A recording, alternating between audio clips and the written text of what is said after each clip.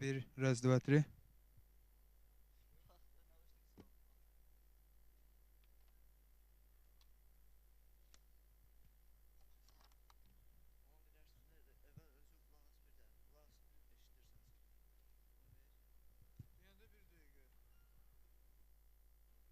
Раз.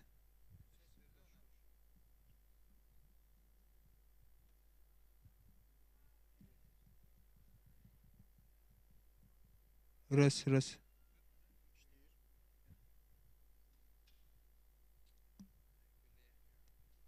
Раз, два, три.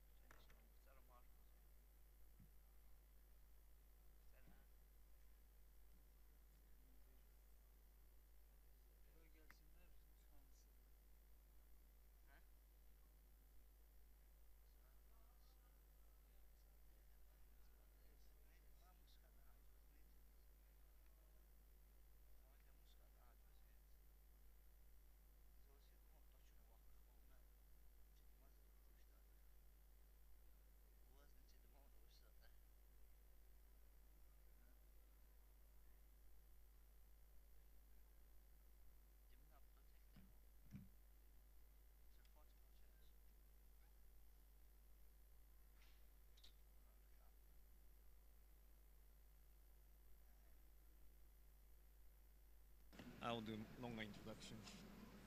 Uh, excuse me if you can hear. Um, so I'll make a little bit longer than planned introduction, hoping that some others will still come.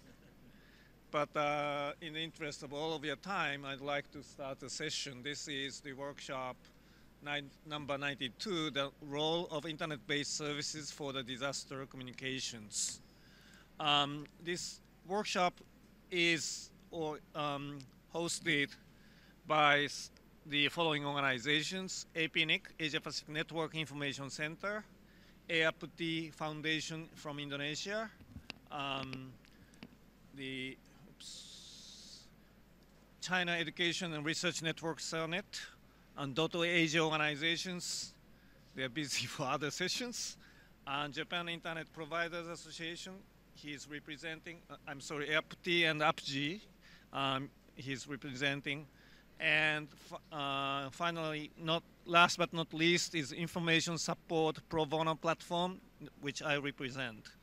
And today we are very fortunate to have five experts oops, four experts and myself, I'm sorry, on the disaster communications. Um, let me introduce to the far left, Mr. Valens Riyadi. He is the founder of AirPutih Foundation and also head of the National Internet Registry uh, of, of the Indonesian ISP Association, we call APSI in short.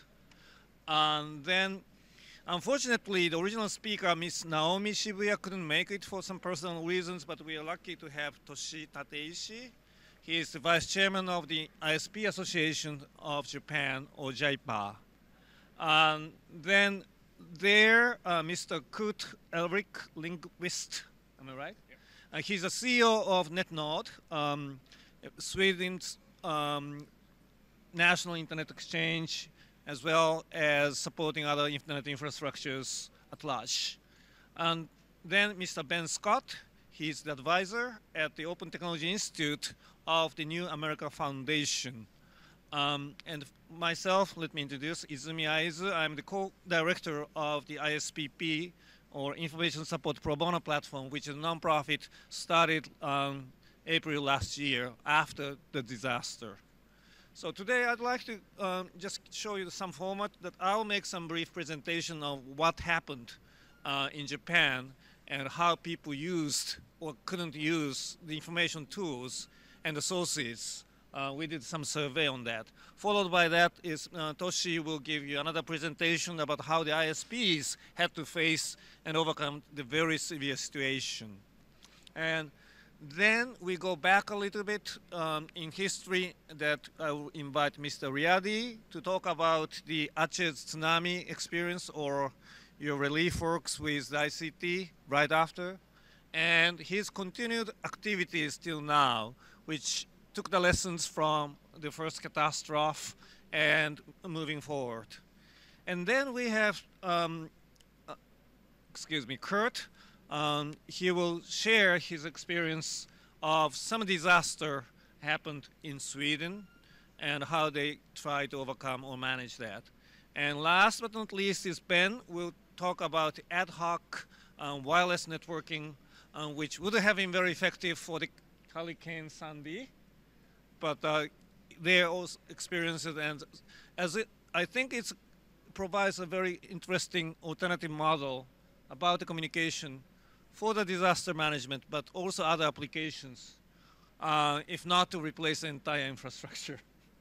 Uh, with that, if I may, I'd like to start my short presentation. Uh, there's the screen. Oops. Oops. Um, first of all, after 20 months, uh, things are not really getting better. Uh, Sylvia went to the site just a few months ago, and she can testify perhaps later. Uh, the, I would say not the national disaster is becoming more of a social disaster. Uh, recovery is very slow and ineffective, and many people are still suffering. They don't have good jobs uh, and stuff like that. And reconstruction plans, very few are implemented. Um, we we also don't understand why it's taking such time. Of course, to some extent, that the citizens were um, sort of discussing each other to reach some certain consensus. It takes time. But uh, according to the previous experiences 18 years ago of Kobe, it's still very problematic and we may face more problems. That's, this is a picture I took uh, about three weeks after the disaster in the city of Kesennuma. Um, and this ship, you can still find it on site as well as Google Earth. Uh, there's a talk to keep this as a kind of memorial site uh, following the Aceh's case. Uh, so just to skip some. So this is, I, I had a long time friend there, so I stayed his house, and this is the scene. Most of the houses you see uh, were not there. It's just the, the wave, the water blowed to. And uh, just only, this is sort of where uh, the look where I stay, from where I stayed, 10 meters below is like that. Uh, so the natural question was, what can ICT or internet do for them of these disasters? And there were very little emergency preparedness, at least amongst the internet and ICT community, I must say. And there was, we call informational gap between the sort of victims and the relief team. And we don't know what's going on and they couldn't say what they needed. And so to send all the material or, you know, even the water or personnel, at least in the very early days, for let's say three weeks or four, we faced a very severe information vacuum and gap. Um, so this is the a survey result. Uh, we conducted this in July last year, three months after, um, and asked by using the net uh, survey and also the field interview, and the pattern of the answer was very similar. Um, we asked what did, did they use frequently before the earthquake to the very left, and then a few hours after the earthquake, there the sharp drop is observed except the radio, which 67% people said they could use the radio, while the old others like TV, internet, mobile dropped almost half of less. And in one week, it's getting more recovery, uh, one month and three months. What's interesting was the fixed line uh, telephones in the green became uh, increased use exceeding the level before after three months. Um, we asked the, the, free question, free answers. What were the information sources they were not useful or not satisfied? The, the number one within a few hours was mobile, about a week again, and then one month, big dissatisfaction about the TV. This meant the sources or content of the TV were not providing accurate information, especially around the nuclear accident. Uh, they started to realize the kind of information they provided within a week or two or three from the government or from even the experts were not really covering uh, the truth. Um, the email uh, radio also interestingly, radio were frequently used uh, right after and during the period of three months. But there's a lot of frustrations about radio as well, because local people really couldn't find the kind of information from the national news or even the prefectural capitals news didn't reach the coastal side. So these are another um, significant problems. And also we did survey in the manner that we divided the locations uh, three coastal prefectural areas and three inland areas. So essentially, with the six million population, uh, there are six areas we sort of demarcated and made the some uh, cross-reference or cross-analysis. So um, this red line is the uh, symbolic. It's one prefectural coast of Iwate, which was heavily hit by tsunami. So with the exception of radio, and the word of mouth to the right, no other means showed any real effective use. Um, while in some other areas, TV were frequently used on it was okay to use mobile voice, 40% said uh, in two areas. Internet, yes. But if you're severely hit, of course, these are not uh, usable. Maybe you may wonder why I'm showing this. It's so obvious. Because the problem is, in Tokyo and metropolitan areas, things are very different. So what the majority of the people in Japan even had in mind was that internet, Twitter, SNS, mobile were relatively okay and durable than the voice-based things. And this is largely true in the metropolitan area, but not really true in the devastated area or center of. So uh, what are the reliable information sources by the citizens for the nuclear station accident, those who are residing close, like within 20 to 40 kilometers. Um, they say there was information on the accident, but for evacuation, very little, very confusing. I only heard the siren first, uh, get outside 10 kilometers away, then got to, to you know, be directed to go to certain other areas.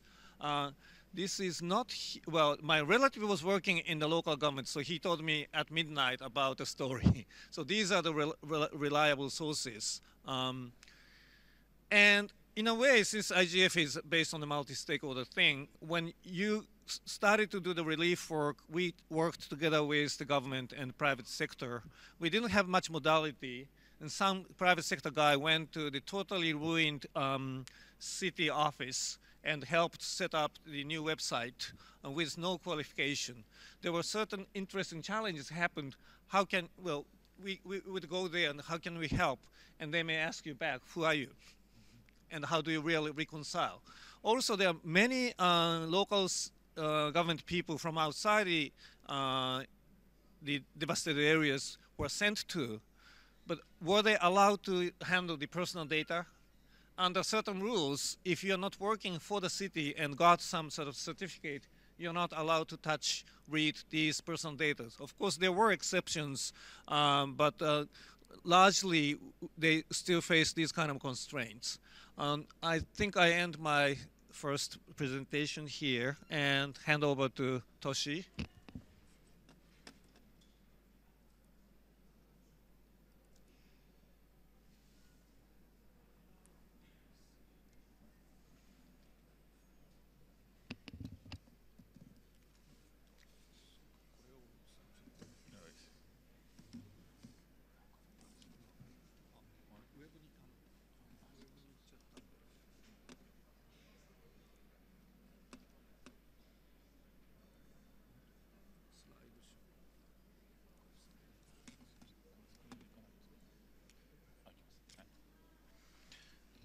Thank you. Uh, my name is Toshi Tateishi from uh, Japan ISP Association.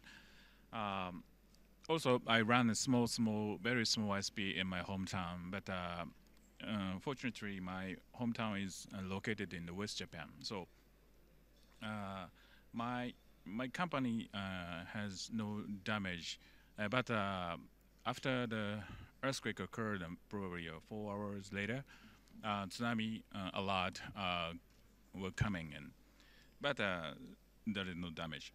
so, but for, unfortunately, I'm in Tokyo. So at that time, I'm in the middle of the Tokyo. So um, I'm almost leaving Japan, and ten hours later, I'm planning to go to America, uh, but I missed it. so, uh, but unfortunately, we uh, we don't have blackout. Uh, we have electricity without uh, um, trains are not uh, available, but we can walk with uh, electric power and uh, you know the uh, uh, on the road. So uh, there is no panic in Tokyo. So uh, now, from now, uh, I'm going to talk about uh, uh, recovery from the earthquake. So after the uh, two weeks or three weeks later, we have a meeting about this disaster. So uh, people say that many labs could save uh, could be saved uh, if the information system is was active. So probably the now we are talking about how to maintain or uh, activate the infrastructure for uh, 72 hours after the disaster. Now and uh, well, at least one hour to inform the people uh, what happened.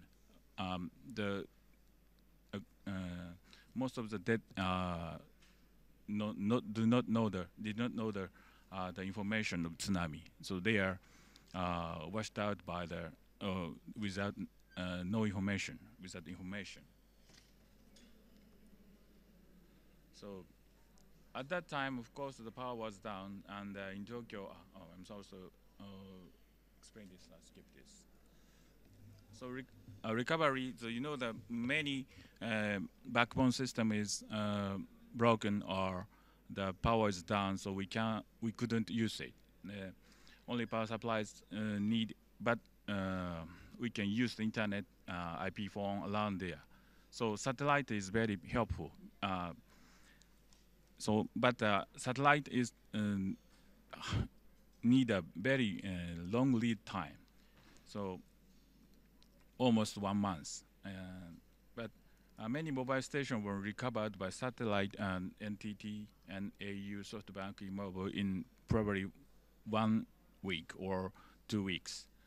So the merit of it, uh, they can only uh, with uh, power they can run, but take much to set and not up because uh, they couldn't see the uh, videos.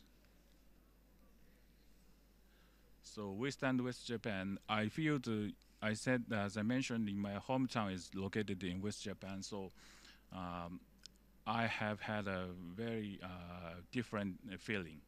Uh, three days after uh, March 11th on TV, um, they just broadcasted uh, impressional movies only. So we almost the uh, West Japan people uh, didn't know the what happened really happened in Jap- uh, East West Japan. Uh, so we could not get the information at the places around only tsunami. So uh, probably uh, 100 kilometer from tsunami area, um, many people uh, didn't have anything to eat. So uh, I'm sorry, this is not. Uh, I'm sorry, this is the old one. So at that time, so we think that we have to be prepared. So redundancy loot. Uh, this is a very uh, important, I think. But uh, you know, the learning cost is big problem. So we need some application uh, software uh, for everyone and every time uh, we can use and not only the usual time but also the emergency time. And we share the cost. N- This is a big problem. How to share? And for example, web camera. Uh, this is uh, rarely in uh, Kochi Prefecture. It is uh, West West Japan, and uh, we have uh, 10 web camera. So this is for in peacetime for sightseeing and fishing and some surfing. So they use this in, in peacetime for the some li- like this purpose. But emergency, uh, you know that we have uh, so many typhoon every year. So typhoon time, so the every local government officer goes to the uh, coast side and take a picture and how it uh, every every hour. So if they have a web camera, so they don't they not have to go to every hour. And uh, but and we have to uh, remember the uh, eruption in 2000. Uh, this is Hokkaido, uh, East uh, Japan. I'm sorry, uh, North Japan. Um, uh, uh, 27th March uh, 2000 activate and for just for days after they erupted, but almost uh, 10,000 people evacu- evacuated, such a s- uh, short time. and so fortunately they don't have uh, no casualty. Uh, there was long time relationship with some experts. This is the reason why they can evacuate all of them. And uh, so uh, without this relationship, I think that no no one uh, ran away. So who believe that such a strange suggestion, strange suggestion. So I think this is a good instance for the relationship, uh, mutual trust, save the people. And so the ICT is not only for the emergency time, but also the uh, usual time uh, help the to make a relationship with citizen and experts. Uh, now, uh, Japan Cloud Working Group is one of the uh, cloud association will release a common API to use the cloud system and the emergency time, which mentioned, which uh, I mentioned, emergency time to build up uh, uh, local government sites. And uh, Japan's weak point of the infrastructure of the internet is ex- internet exchange point. Uh, most of the data traffic, probably more than uh, 95%, must go through the Tokyo. So if some disaster occur in Tokyo, um, probably the Japan's internet will not work. So we should make a local uh, exchange point for the emergency case. Uh, so now we challenge to a, a local access point in Okinawa, which is located in southwest uh, mainland from um, uh, mainland Japan, uh, 1,000 kilometer from Tokyo. So this is a big challenge, but we have to do it. Thank you. Thank you very much, Tatei-san. If you have any burning questions about what happened to in Japan to Tatei-san myself, you are welcome to raise now. Otherwise, we'll move to the next present, short presentation without. Uh, with you, you want to show the video now? I think later might. But okay, then Valens. Floor is yours. Okay, uh, good afternoon. I want to present some experience from Indonesia about how we, the civil society and also the industry, helping hand in hand in the disaster area. And my first experience in the disaster area is uh, on 2004 2005 when Aceh area west part of Indonesia hit by tsunami and uh, I got chance to fly to the disaster area five days after the tsunami where when I still can see a dead body anywhere and in the really terrible condition. But I, I flew there with the Australia Air Force. They give us space to fly there with uh, five other people and six of us are were uh, engineer IT engineer and we went there to help uh, the disaster relief with the our IT skills not uh, like regular other people maybe they go there for helping for the Red Cross or for some other uh, body. And uh, I'm agree that uh, one of the hard problem we will found on the disaster area is the electricity. Yeah. And uh, we found this problem also in Aceh. And uh, but the the government electricity company managed to make the electricity up one week after the disaster. But of course, it's only in a very small area, very selected area. For example, the hospital, the government building, and also in some of the refugee camp. And uh, we built network on the disaster area in Aceh and one month after the disaster we have like uh, 15 uh, hotspot area where journalists uh, and also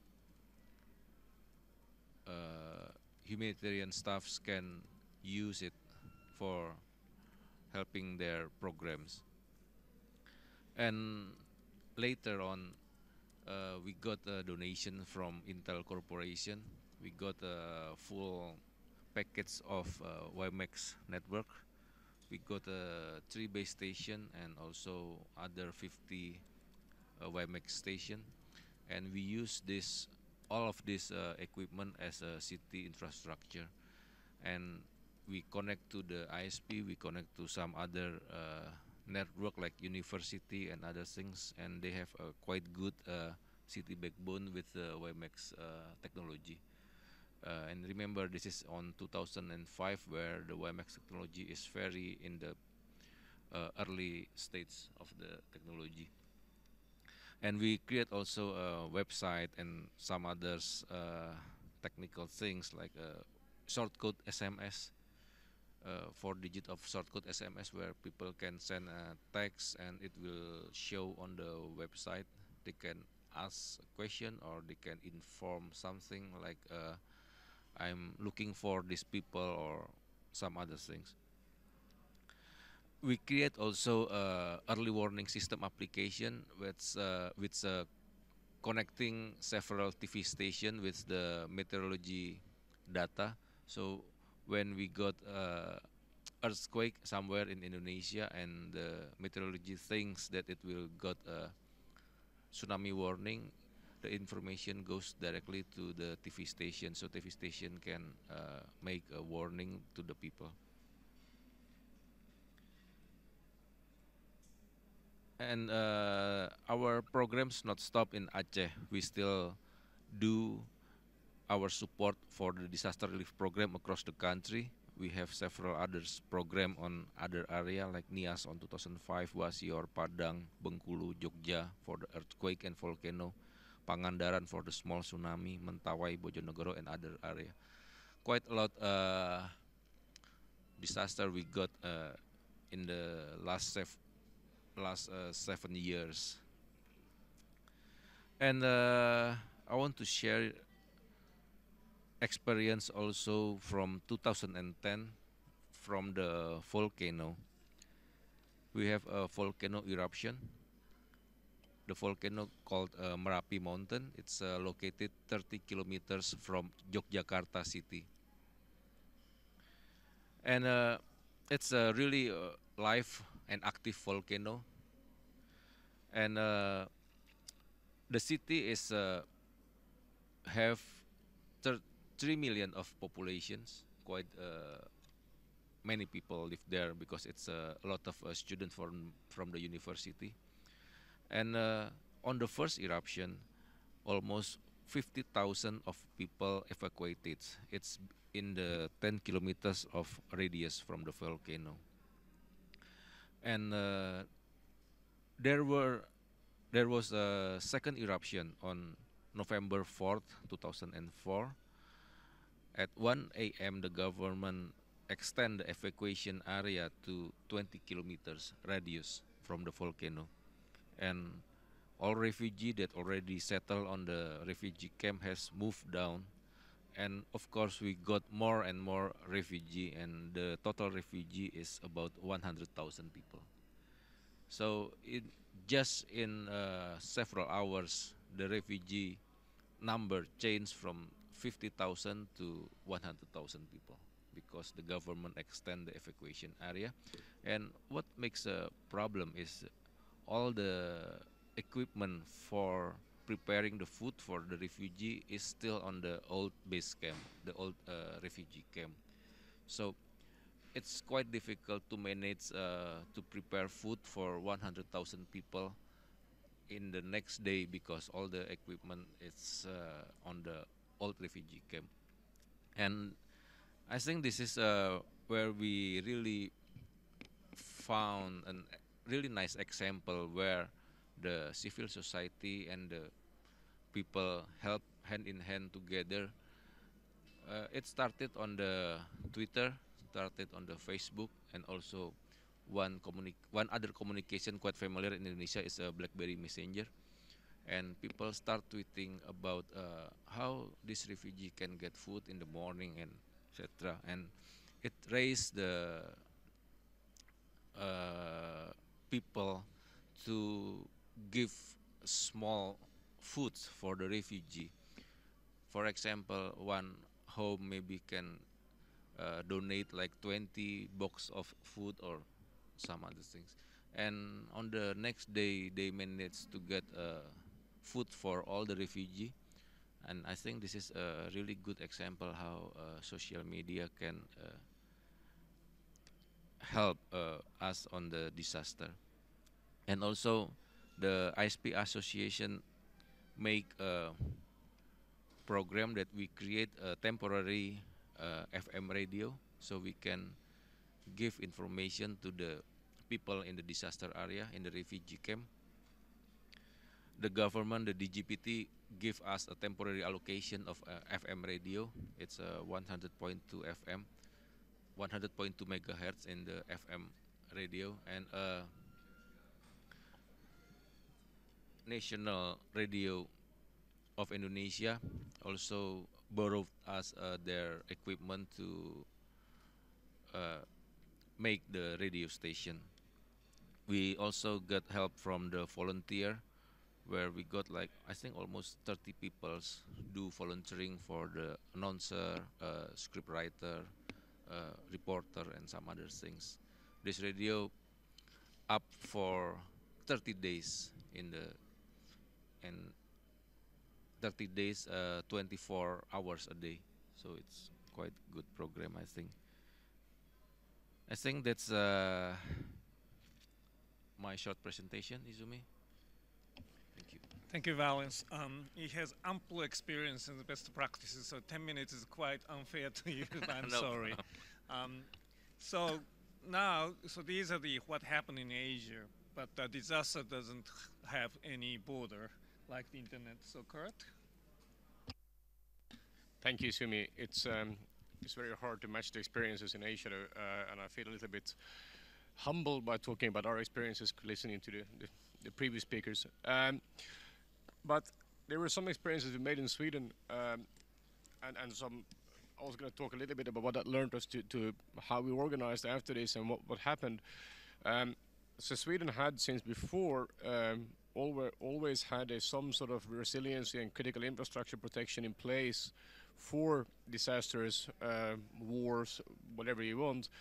Um, so following up the example from Japan, for example, uh, the exchange points that we run are actually distributed throughout the country. Since we started in 1997, the exchange points are in five different cities all around the country, and they are in secure underground bunkers in facilities to protect against uh, natural disasters or, or, or other um, events. Uh, and this was deliberately done from the beginning, and they are very uh, robust infrastructure. Um, but I'll come back to that. Um, this was somewhat tested in in uh, in January 2005 when what was named by the Swedish Weather Service as the Hurricane um, Gudrun, which is a Swedish name, uh, or Erwin by the German Weather Service. Um, hurricanes are very unusual in Scandinavia. I think, as a matter of fact, 1902 was the last time. Um, and this was a storm that moved from the west across all of the, the Scandinavia, all of northern Europe. Um, and um, in when this hit the, um, uh, the west coast of Sweden that was the most badly affected. Actually, I happened to be driving through these storms. I saw it firsthand during the night, and um, it hit landfall around two o'clock in the afternoon. And um, on the west coast of Sweden, we have two of the main uh, nuclear power plants that supply a lot of Swedish energy. And although there wasn't actually a tsunami as we had in Japan, what actually happened was that the water contained a lot of salt, and this drew, drove up a lot of clouds of salt that um, affected the power lines, and, and the storm also took out a all the power lines. And a nuclear power plant, when you don't have enough demand, you have to shut them down. And they were also getting scared that the salt would be increasing the risk for for short circuits inside the nuclear power plants because there's so much salt in the air. So they had to shut them down, uh, and that took out power. The, the, basically, the power supply in the western part of, uh, sorry, the southern part of Sweden and southwest. Um, and in addition, a lot of the power lines were destroyed because both power and telecommunication lines were uh, is actually mostly at that time mostly cable borne, so on, on, on poles rather than dig into the ground. Um, and during the night, uh, 340,000 households were, out, uh, were without power. Uh, the, the, the major cities were doing a little bit better than, than the rest of the countryside was. Um, funny enough, and I was saying this before, um, we actually didn't notice anything because our underground bunkers, of course, running around happily, and we had diesel generators and power. Of course, there was no end users to send any traffic over this nice infrastructure, though, because they had lost power since long ago. Um, we did see, though, there was an immense surge of traffic in the rest of the country to try to access information. And this is actually one of the important lessons is that people's behavior has changed when it comes to accessing information. And you were both the earlier or the three earlier presenters talked about this about a bit that we are seeing um, the people's behaviors for how to access information today is that you will go online and you click reload on the news site just to see if there's any new information. You keep clicking clicking reload. Uh, when I was a kid, um, we used to get this training in school that you know if there was a nuclear war, we should go inside, close doors, windows, and turn on the radio. Today, people go inside, close doors, windows, and click reload. And and I think it's important that when we talk about this disaster communication, that we realizes this. Um, but the, the, the outcome anyway was very much that what we learned was that we lost the cell phone networks in large part of this, and we lost the the, the uh, because of lack of power, and we lost uh, a lot of the cables.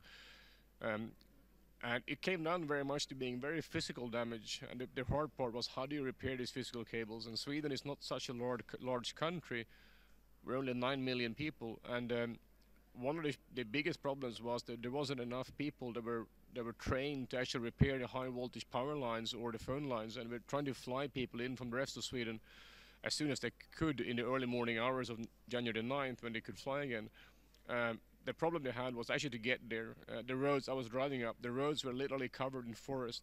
Uh, trees have been carried over 60 meters by the winds, and um, uh, the the damage on the on the on just the southern part of Sweden in one province was equal to the entire forest um, uh, uh, consumption for a year in all the country. So it's an enormous amount of forest that had fallen over the roads, and the, the these repair teams couldn't get out until the rescue services managed to clear the roads. And it was a major logistical exercise. Uh, not even the, the army could actually be of much help because the trees were so immense to, to come through. Um, and it became very physical. How do you fix this? And and um, they flew in um, help teams from Germany who offered to assist. The problem was the Germans had no training on how the Swedish power grid was working or the telephone network, so they were actually pretty useless in the end. Uh, and it was, it was nice of them to help, but uh, uh, it wasn't actually. It would very limited effect on the the speed, the recovery time. And this in total led to some thinking afterwards and how do we plan this better? So there was a few things that people identified that could have been done better. One would have been to actually share resources because it turned out that most of the cell phone towers for example from the various operators are one they are fairly close to each other. Two uh, we, don't, we don't need all of them working. We need to instead to enable roaming between the operators and just make sure that they, they agree on who fixes which cell phone tower and go out with, with portable diesel generators and, and to recover the tower and um, it actually turned out this, this is very interesting. We have simulated this afterwards, and, and there was this idea that this should be coordinated centrally. We should have some sort of crisis group to de- de- decide this. But the problem is that if you sit in a crisis group in Stockholm and you're dealing with a situation on the ground in Western Sweden, I have no idea which road is accessible and which is not. And we realized that the best way to do would actually to give the local teams power to decide and actually allow them to between them decide who fixes what cell phone towers um, and also repair the power and so on. Um, this led to the revival of a group that had existed in the past, uh, which is a crisis group that exists uh, with representatives from us and all the telcos, the, the military, um, the power company, etc. And this group can be activated 24 by 7 uh, by any one of us. Can actually request this group to be called together in case we believe that there's a situation threatening the communication networks. Uh, and that we could actually need help from anyone, and we can all, all. So it's not just the government; any operator can activate this group.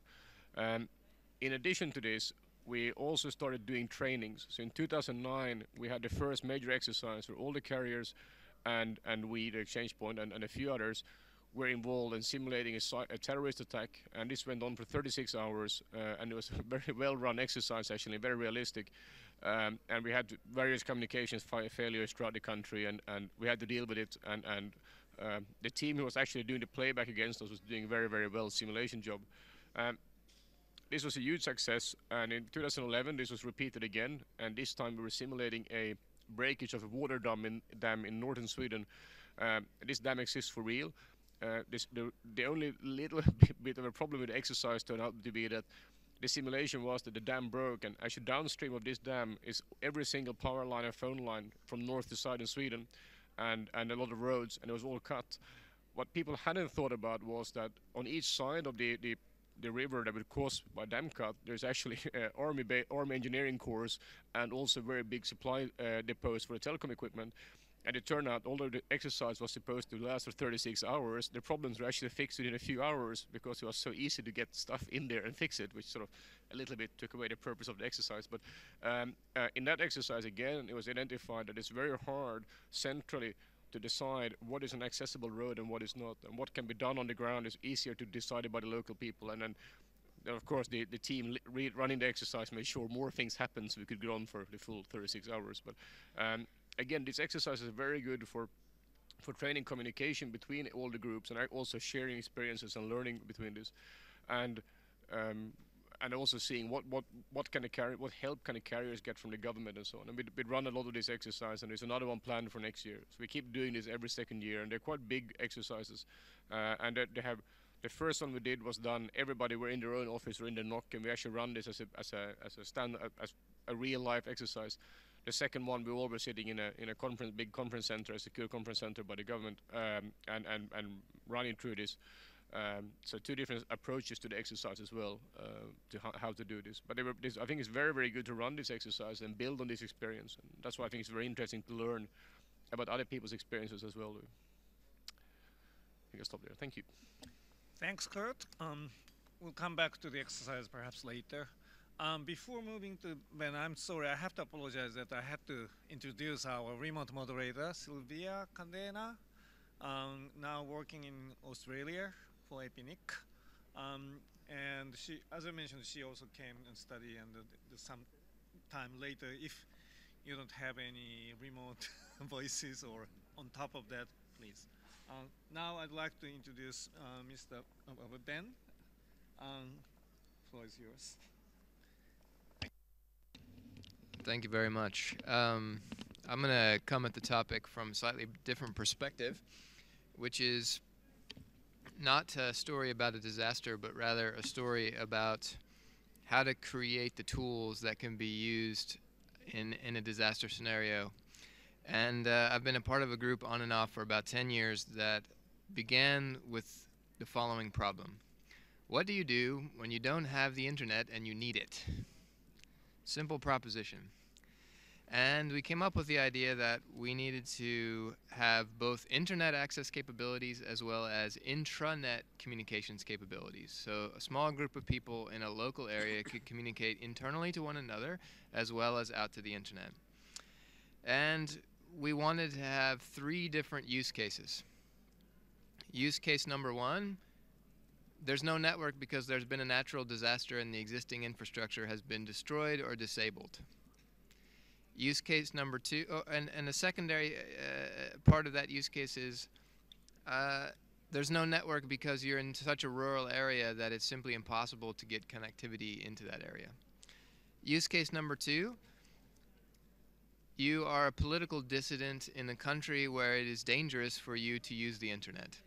and to uh, risk using a telecommunications service that is heavily surveilled by security services. And you need some off network solution in order to communicate amongst your peer group or out to the rest of the world. And use case number three is there are network services available, but you cannot afford them. It's too expensive. And so you need a lower cost communication service that is built by the community for the community. And th- this technology was developed about 10 years ago by some graduate students who were primarily sitting in use case number three. We had no money and we wanted to have internet access. and we came up with the idea that if we all lived in the same neighborhood, if one of us could buy a DSL connection and we could put antennas on top of our houses and share that connectivity on the rooftop antennas, then we could essentially get internet access for one tenth of the price. 10, 10 houses sharing one connection. And so some clever computer engineers developed a, a protocol for an open source ad hoc wireless mesh network. Would essentially allow one connection to pass packets between all of the antennas on the system and be able to communicate between the antennas as well as down into a local area network with essentially a small Wi Fi cloud. We used Wi Fi frequencies exclusively. That system worked okay, but it was buggy and it took many years to develop the code and to refine it. But so, fast forward to today, this project uh, is now known as the Commotion Wireless Project. Commotion Wireless Project has received several million dollars of support from the U.S. State Department to advance the cause of internet freedom around the world, to help uh, dissidents to uh, have secure communications off of the incumbent telecommunications network, or in the case of a country or a city or a neighborhood where the internet has been shut down, to have the capability to create your own network communications, either intranet or internet access, in a local area. And the test bed for the Commotion Wireless Network is actually being built in inner city Detroit, which is one of the lowest income communities in the United States, where the problem is not that there isn't internet access or a network available, it's that people cannot afford it. And we have begun to think about deploying uh, the Commotion ad hoc wireless solution in, in disaster areas as well. So here's how it works it's a pretty simple idea. We call it software as infrastructure. The idea behind commotion is that we cannot assume that anybody has any specialized gear. So we're going to have to use equipment that is available on site in any given circumstance. So the way commotion works, if we wanted to set up commotion network here in this room, what would happen is each of us would take out a laptop or a phone and download the commotion software and hit go. Literally there's a button that says go. and commotion there is there an Android version is in development. So essentially, the network software would uh, begin to communicate peer to peer with all the devices that it could see in the room, and it would form a network, a highly redundant, resilient network that would have multiple paths of communicating across the network. And if any of us had an internet connection, it would also share that internet connection across the system. Layered on top of the commotion network uh, uh, transport is also uh, encryption. So every single communication that's transmitted from phone to phone or phone to laptop or laptop to internet is all uh, through encrypted tunnels. Uh, it's been a, a very uh, exciting development process. Uh, the, the, beta version of Commotion, I think, is going to be released in the early part of next year. We'll begin doing deployments and expanding the test bed outside of Detroit. But we are, are really optimistic that commotion can be a, a very effective solution for disaster relief. and and I've, I've studied some of the most successful disaster relief communications efforts, and they all uh, follow a similar model. And I've, I've looked at uh, what, what, happened in Indonesia, which is one of the most innovative uh, and, and interesting examples in, in such a critical area. Also, there's a good example after the earthquake in Chile a couple of years ago. They did an excellent job of getting connectivity down into coastal areas that were impacted by the earthquake. But essentially, it's a straightforward solution. You find an internet connection somewhere that's still live, and you take a point to point link as with as much capacity as it will carry, and you beam that connectivity as close to the disaster site as you can, and then you share that connectivity out in some way, either through a series of hotspots, or in the case of commotion, we, we would imagine sharing it out through an ad hoc uh, mesh network where any new device that anybody on the ground had could simply download the software and join the network instantly. Whether they are German disaster relief workers who have come and don't have connectivity uh, and don't know what's going on but need to know what's going on, or they're a victim of the tsunami who need to get information about where to evacuate, or they're a potential uh, relief organization who needs to know where to deliver food aid. All of these institutions can get access to the same network uh, using the mesh protocol. So that's the idea behind Commotion.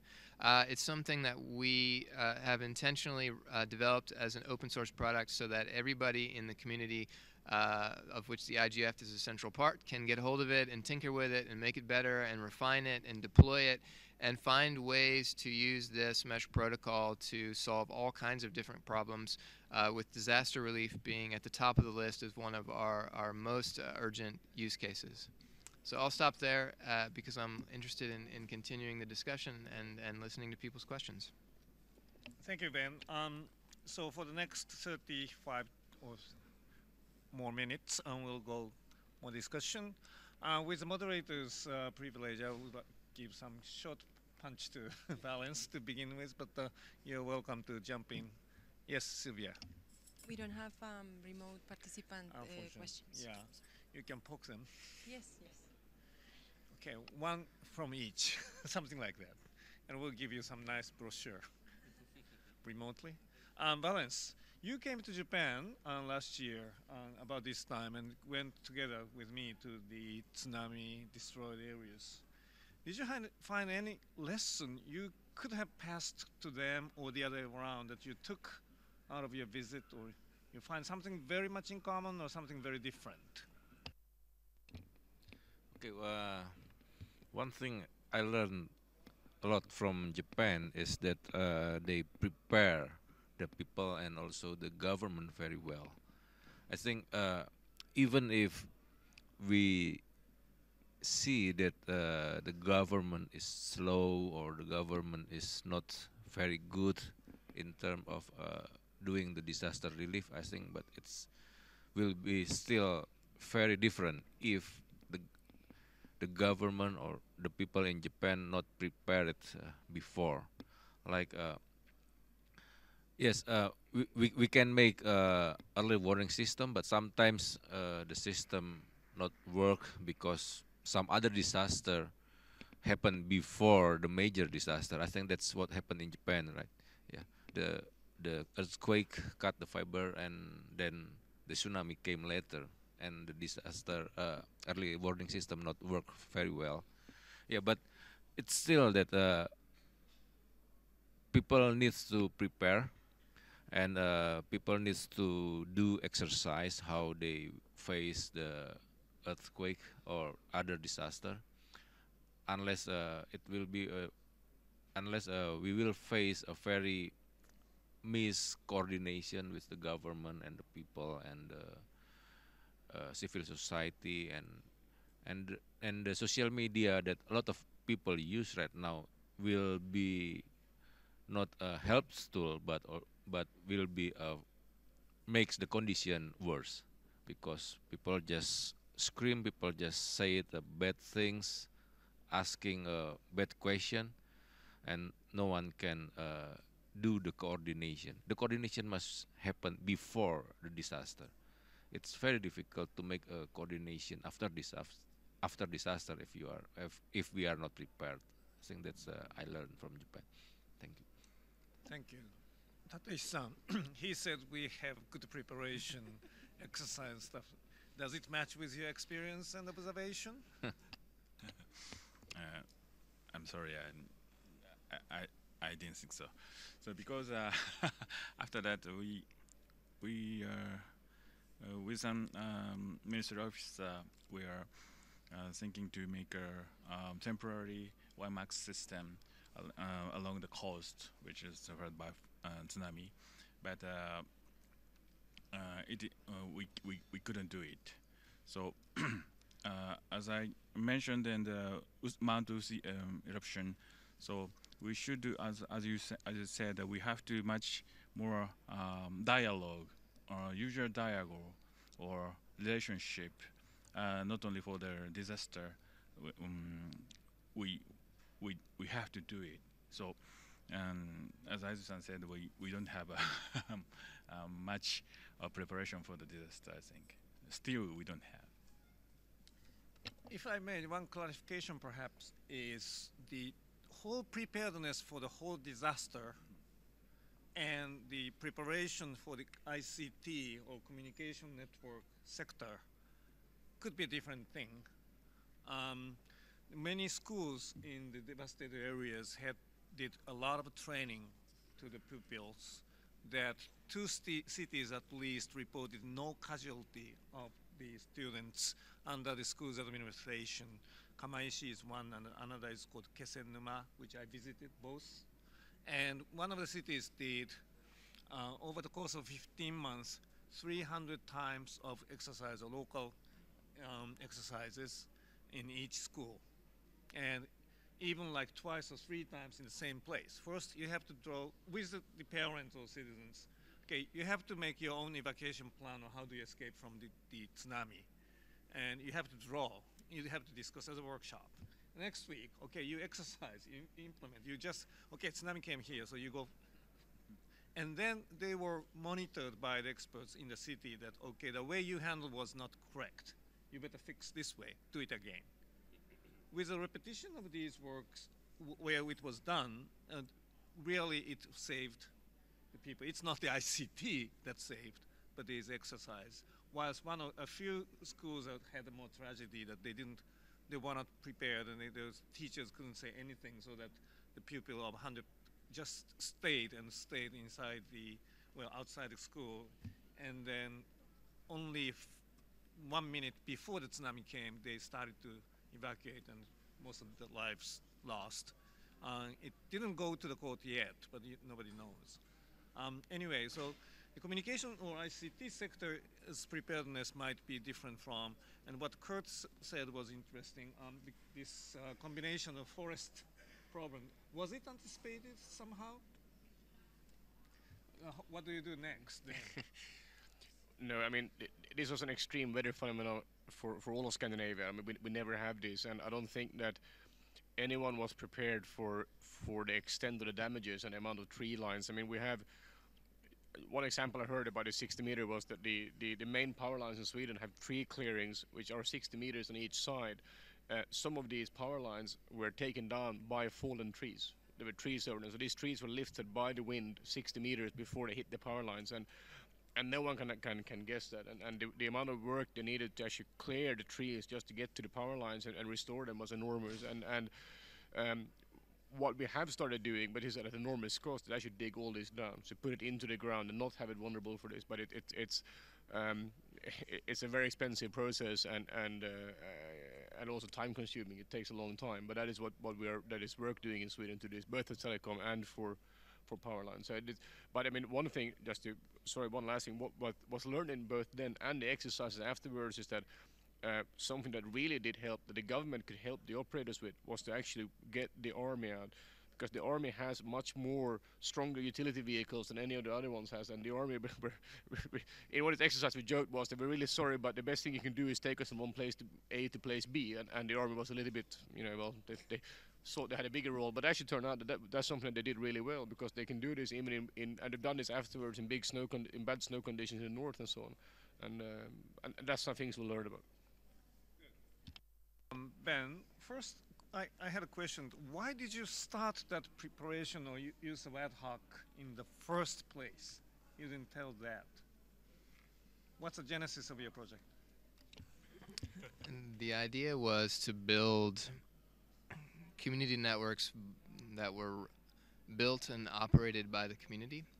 And so there would be no one central operator. There would be no, it was to break the hub and spoke model where there's a central office or there's a tower or there's a cable head end. The idea was it doesn't matter where the network begins. You can you can have 10 people with rooftop antennas in a single DSL line, or you can have a thousand people with 25 different broadband connections of different types, and you can have different types of antennas. And if one person moves away and takes their antenna down, or the cat knocks the antenna off the roof, it doesn't matter because the network will just simply route around them and note that Right. it's gone. If I may, is that a US-based project in the beginning? It was in the beginning. Now there are deployments all over the world, including uh, in um, Austria and in Greece yeah. and in uh, West Africa and Ghana. Interesting because in 1998 or so, I- there was INET in Switzerland or Geneva, and I was approached by the guy from the Lausanne Institute of Technology. Had a very similar idea called Telenode, and this came out of Kosovo, if I'm not mistaken. Uh, during this, this bombing of Kosovo's civil war days, those um, people uh, who are not with the, then the status quo had difficulty in using telephone because it's wiretapped. And they couldn't use satellite TV. They didn't the government didn't allow. So essentially, there was no communication for them to get any news from outside or to get out from them. That they came the similar idea of a ad hoc or mesh network, which doesn't rely on the operators, state-based or whatever. I don't know if that's materialized or not, but it sounds like a very similar thing. The other thing you can do is you can uh, you can essentially create your own community media platform by adding a server to your network and putting content on it. So, for example, in, in a disaster scenario, if you want to run an internet-based radio station that is only broadcasting to people on the local area network who connect through the software, it's no problem to do that. You just throw it up on your own server. You're hosting it yourself. It's on the no- the local network. You're not even dependent on a reliable internet connection because you're only sending that ca- that capability inside your internal network.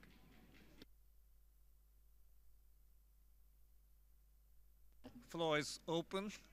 If you yes, uh, I'll take a few comments and questions and and, and then shoot the panels. Hi, um, my name is Eileen Gua, and I run a, a social media mobile tech consultancy based in Afghanistan. Um, and I, obviously, because of the theme of this panel, you guys have been talking a lot about internet uh, in, in post-disaster, and I'm interested in your thoughts on on um, the different types of information and the different utilities of using mobile tech and you know like crowd mapping, um, SMS-based services that you started to talk about a little bit versus internet, and and what um, how the responses would differ and how they could be used differently. Thank you. Uh, we'll keep it. And you have some question, comment? Um, is there any wireless microphone? Yes, please give him.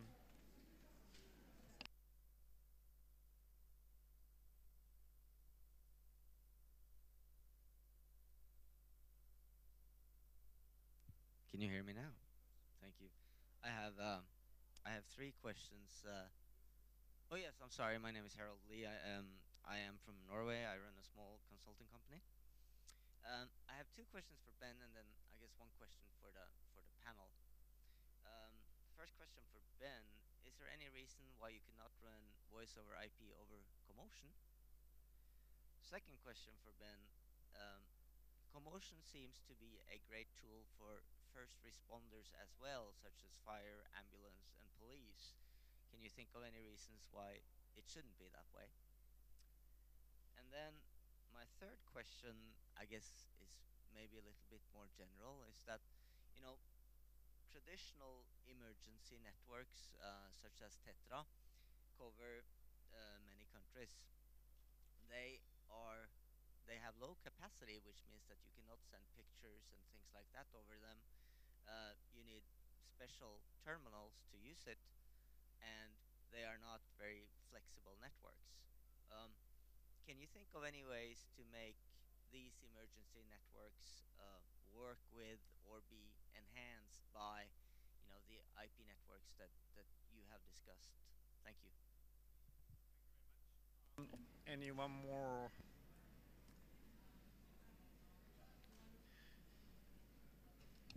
Sylvia, please. Uh, well, I, I, I want to make some comments, um, not questions, or maybe it's better if you, you answer the the questions and then I make a comment? Okay. Peter. Okay.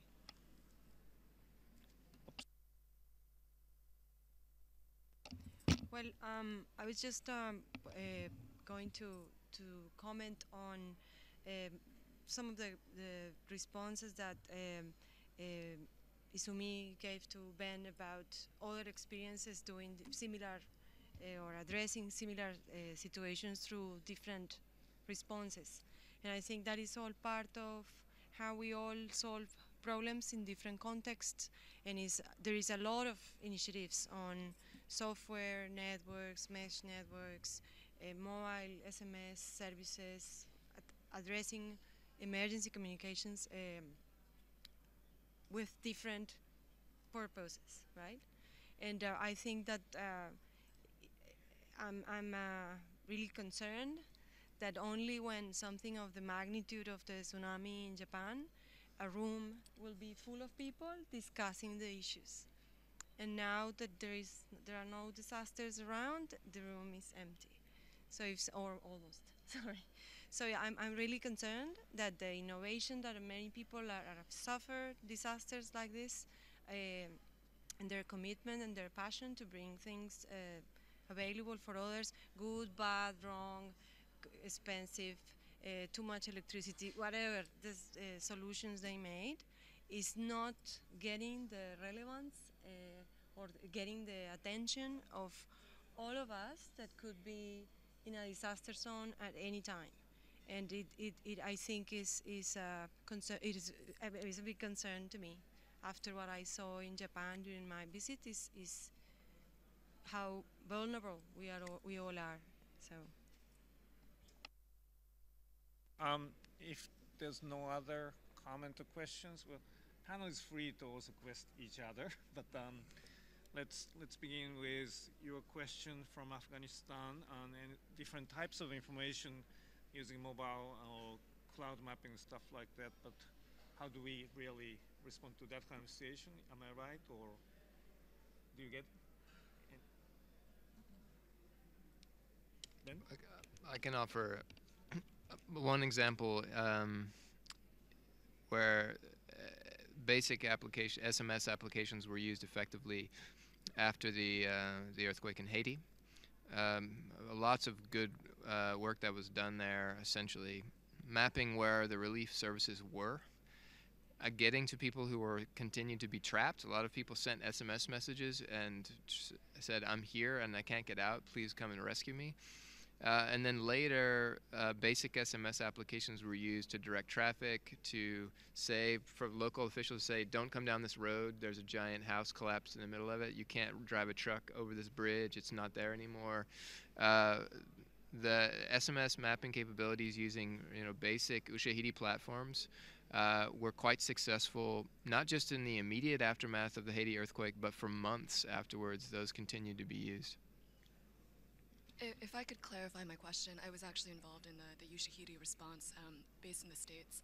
Uh, so, what I was really trying to ask, I think, is why the focus on internet as opposed to mobile in post disaster, other than the obvious um, panel theme? From my perspective, if you have internet, you have mobile too. You can, any, if you have an internet connection, you can do everything on the internet with an IP connection that you can do with SMS. Uh, also, y typically for the SMS infrastructure, you need towers that are operational and uh, a traditional telecom infrastructure, which is not always feasible. But I, I agree that in a lot of cases, particularly when the user base is more comfortable with SMS, more uh, used to using SMS, that it can be a more important tool in, for expanding the number of people who are accessing the technology. Just want to add one thing about this SMS versus email. I do think there's a little bit when one one use case is a little bit different was that after the tsunami in the, in the um, we heard about it uh, that when hit, also hit Thailand, uh, a lot of Scandinavians and Swedish, as I know, but was also affected and killed in this. And one use case that the Swedish Foreign Ministry found was that they, if they would then now they do, um, they didn't then have the ability to actually push communication out to citizens because you know email access means that the, people who are stranded there or still alive need to go find IP and then have to figure out where to go. What the foreign ministry identified was that if they would have had the ability to send messages to all Swedish cell phones currently roaming in Thailand, that would have been extremely useful for them to push information out of what to do and how to get in contact with, with the embassy. So I think there is a little bit of different use case. I agree with you. You probably have coverage, but the use cases are different. Yeah, if I can add uh, some comment or answer. Uh, each technology have their own specific things, like the what you need to run the technology and um, some other things. But uh, IP network, I think, is the easiest uh, technology we can deploy right now. Uh, you just need a satellite dish and uh, Wi-Fi access point. I think the it's it's the smallest IP network we can deploy with very fast. But uh, of course, uh, doing a disaster recovery, you have to find which technology is available on that area. That's I think the that's the most uh, question we have to answer first when we came to the area of the disaster. And uh, sometimes it's uh, the operator telco is still available, sometimes not, or also the electricity. And also uh, the characteristic of its technology is quite different. Like for the text messaging, the text is uh, we can send the information really fast to a lot of people, but it needs a telco network. But with email, it's uh, not very fast, but uh, with a very small TCP/IP network, it can work. And I did to make a FM radio station. Why? Because the people in the refugee don't have any computer or some other things, and the easiest way is we give away like ten thousands of a radio uh, portable to the refugee, so they can listen to any announcement or any uh, other information very quick from the government. I think it's. Uh, I I make uh, five things with that we we need on the disaster, like preparation, of course, and immediate response. But the third thing is the how we can utilize local resources. Yeah, I think that's uh, to do that uh, we need uh, I think uh, IT knowledge, IT skills. So you know quite a lot of technology. You don't only depends on one techno- technology. You can have to use uh, several different technology, and also uh, collaboration. I think that's um, very important. Also, government, NGO, people. Yeah, thank you.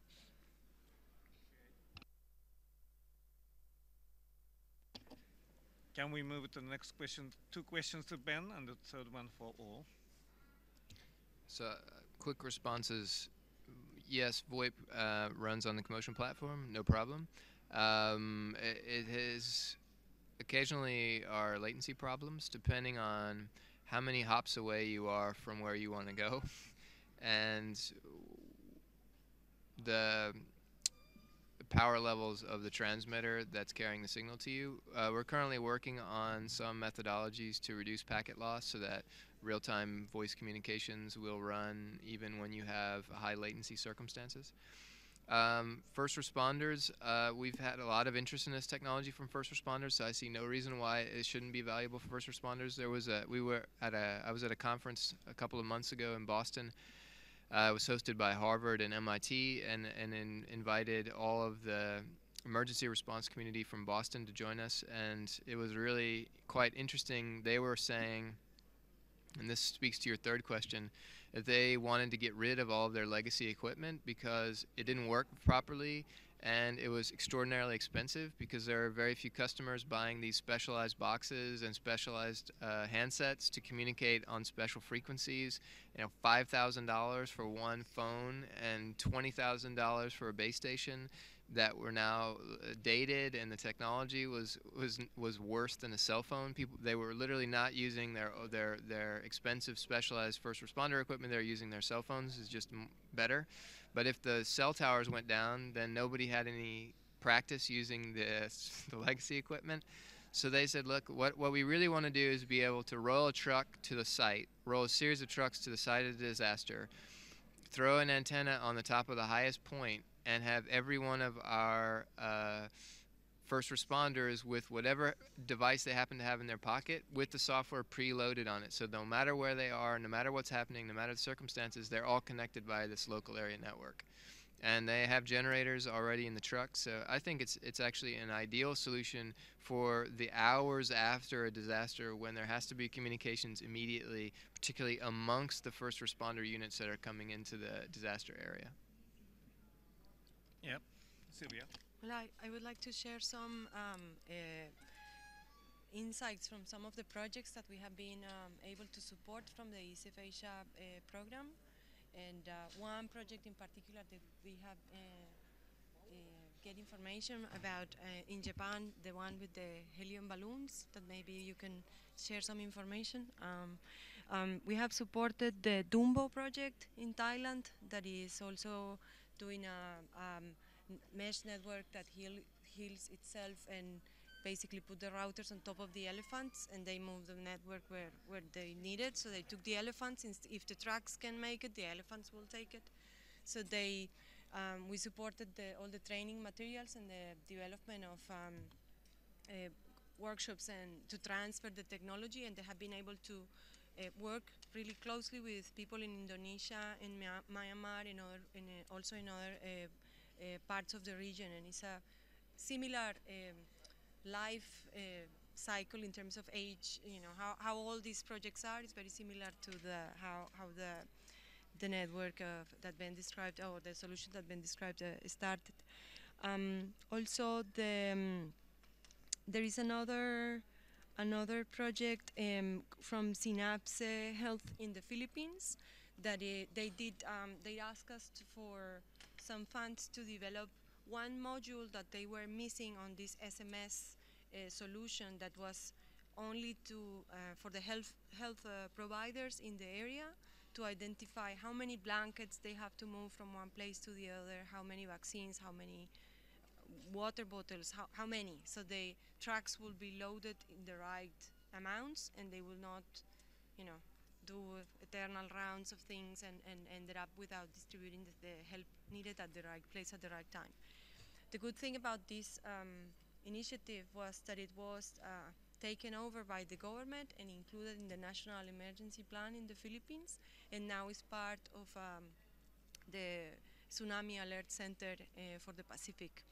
Then there is another initiative from the Bach Khoa University in uh, Vietnam, and they developed um, um, a, G- a GPS wireless ad hoc sensor network that is supposed to help um, people, um, the fisher folk in, uh, at sea, uh, to communicate not to not necessarily during a disaster, but they can monitor the weather and then um, how many boats are coming and uh, communicate with, with the pier to bring the fish in and stuff. But then if they are in an emergency situation, they can be rescued by this uh, with this type of, of uh, network, which is also a very interesting um, uh, project. And then there is another project in. Uh, sorry. Yeah, there, there, there, there. I mean, what I'm trying to say is that there are a lot of solutions out there or initiatives that are uh, pushing the boundaries of innovation, and it, it is um, really important that we try our best to put them together and to see what uh, the exchange of information and flow can provide. Thank you. Uh, going to your comment earlier you made about how easy people forget or didn't, you know. Tatei-san, you mentioned in the early stage that those hit by tsunami to the east side of Japan, uh, people are more really um, strong interest still. Well, may not be the case for some, but those who are far away in the west, like your hometown so forth and so forth, do they really care or how do you really mobilize the people, authorities, such, um, if you can share any comment, observation? Mm. So um, the TV set uh, um, make a loud uh, noise for about uh, such a big disaster. Uh, people have uh, some uh, interest and uh, they, they think uh, they have to do something for the uh, people who suffered from tsunami or earthquake. But uh, after probably seven days or ten days, and uh, the TV said uh, will never uh, talk about that, so uh, they are getting mm, their their memory is decreasing every every hour, I think. So as a uh, East Coast uh, Japan, and like as I said, as I mentioned, the, the elementary school children um, have a, a training for almost every day. So we should do something for the uh, to memorize or remember the uh, disasters. I, I don't know how but. I think so. Thank you. Yes, together we were planning this 72 hours training in three weeks' time from now. Suppose your communication line and also the power line and also the traffic all shut down. And we are going to local government office and uh, we are working together with the local government. Um, especially in the focus is the handling of the information, um, collection of the information, uh, analyzing and disseminate or share when you have no communication infrastructure. We are talking about the use of the paper, seriously.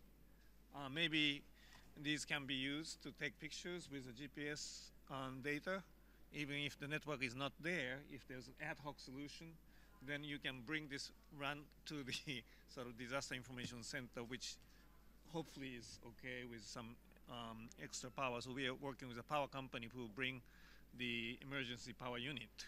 Interestingly, we had some examination of the site the other day as a preparation, and I went there around after five, which is getting dark. And of course, of course, we have the uh, in the exercise we will have the power, emergency power, and they said you can connect 20 PCs, no problem. Then I went there. It's a local um, village almost, and they had their own power, so we can turn it on if things are normal. But if not, bring it um, emergency power, how do you illuminate? There's no lamps, lights, extra. It's it's a abandoned school, so they still have the illuminations in the ceilings, but you cannot bring this extra emergency power to connect to that without having good technology or stuff.